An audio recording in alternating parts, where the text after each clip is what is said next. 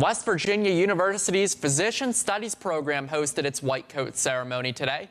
The White Coat ceremony was held to honor 24 students from the School of Medicine Physician Studies class of 2024 and mark their transitions into the clinical phase of their education.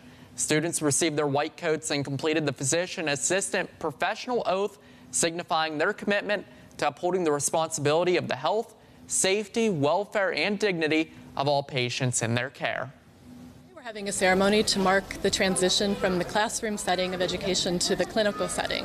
So it's a really exciting moment for these students who will be spending a, a full 12 months in the clinical setting, rotating through various specialties and um, finalizing their training before they graduate in a, about a year from now. The ceremony marks the third white coat ceremony since the program's inception back in 2020.